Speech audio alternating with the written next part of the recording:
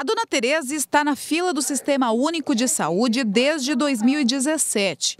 A idosa de 76 anos aguarda uma vaga para fazer uma cirurgia e trocar a prótese no joelho. Por quê? Se o SUS já liberou o IH, já está pronto. Ela, eu fui lá na secretaria, está tudo aqui. É só o hospital ligar que nós manda.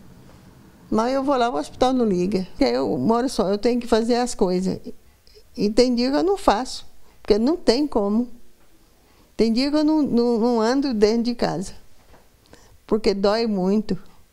Tem dia que até para dormir, eu deito e fico bolando e procurando posição para colocar a perna sem ter lugar. Enquanto pessoas simples, como a dona Tereza, aguardam por uma vaga de cirurgia, outras pagam até dois mil reais para furarem a fila de espera do SUS, que geralmente leva meses e até anos. Éder Alves da Rocha, suspeito de vender as vagas.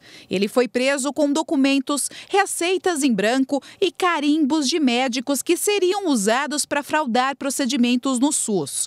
O esquema teria durado mais de 15 anos em hospitais públicos de Goiás. Segundo a polícia, Éder contava com a ajuda de funcionários do SUS. Ele captava pacientes que buscavam agendamentos de consultas médicas nos hospitais públicos aqui da capital visando a realização de cirurgias eletivas e não eletivas, mas principalmente cirurgias eletivas, sem que tivessem que se submeter a regular fila de espera para tais intervenções cirúrgicas. Em uma das negociações que eram feitas através de mensagens de celular, uma mulher diz para o acusado que ela está há três anos na fila de cirurgia e que se sente aliviada por ter conseguido a vaga depois de pagar mil reais ela nos trouxe a informação de que for abordada para uma pessoa e proporcionando uma vantagem de furar a fila e ter seu procedimento cirúrgico é, adiantado, vamos dizer assim.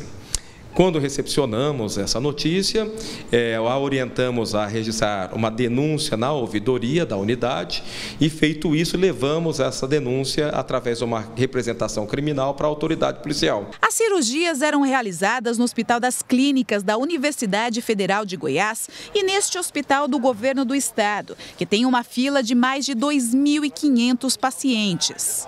É importante que o usuário saiba que o hospital é público, 100% SUS.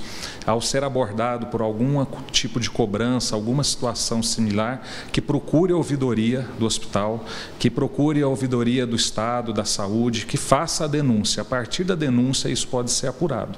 Todos os pacientes que vêm para o HGG são pacientes regulados pelo complexo municipal, ou seja, todos eles estão identificados de onde que eles vieram e eles só podem ser atendidos aqui dentro do hospital mediante a regulação.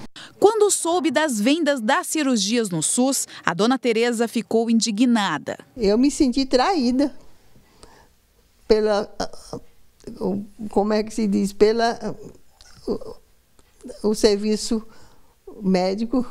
Pelo, a senhora se sentiu traída pelo próprio povo? Pelo próprio povo, pelos serviços né, dos, dos hospitais. Porque se eu sou paciente de lá. Já, já eu fiz a outra lá. E agora eles sabem, o médico sabe do, do problema do, do, que pode me, me, levar.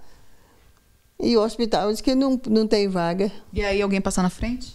Aí alguém, eu agora vejo na televisão, gente pagando e passando na frente. Então não é falta de vaga.